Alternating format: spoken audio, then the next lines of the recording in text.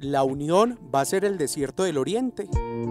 Hace aproximadamente 60 años que el municipio de La Unión está siendo usado para explotar la caolita, lo que sería el caolín, una arcilla blanca muy pura usada principalmente en la fabricación de porcelana, pasta dental, medicamentos, maquillaje, baldosa, entre otros.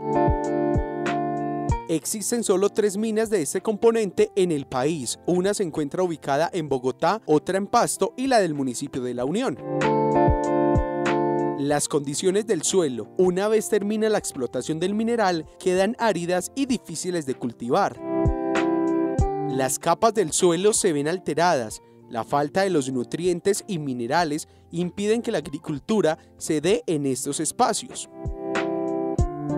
De presentarse un sismo, el municipio de La Unión tendría la ventaja de ser más soportado debido a que el componente del suelo es más resistente.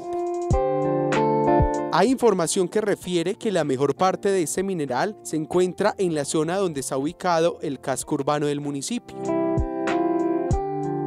El municipio de La Unión tiene una proyección de crecimiento de su expansión urbanística planteado en su plan de ordenamiento territorial del 200%. Según el rastreo, el municipio tiene solicitado casi el 70% del territorio para la minería de caolín. En este momento aproximadamente el 20% está siendo explotada. Comienza la disputa territorial entre la expansión urbanística y la minería. El daño ambiental que este tipo de minera produce en los ecosistemas es irreparable y se convierte en un desierto por la infertilidad del suelo.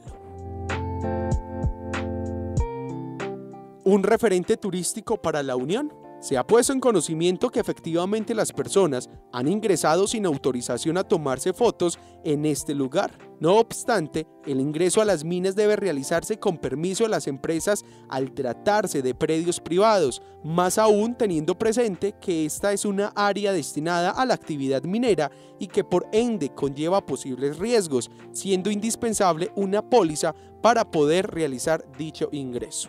Ante esta situación, se ha presentado interés e iniciativa de parte de los usuarios para trabajar en una propuesta que permita promover las visitas a estos espacios de manera controlada y segura sin que esto ponga en riesgo a ninguna persona.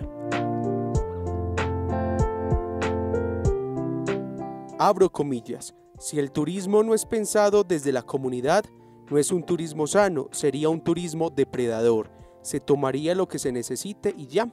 Si no es pensado para la comunidad, no va a dar un resultado. Cierro comillas, dice Ana María Ramírez. Entra en una disputa socioambiental en el uso de un mismo terreno para dos fines, crecimiento urbanístico y la minería de caolín.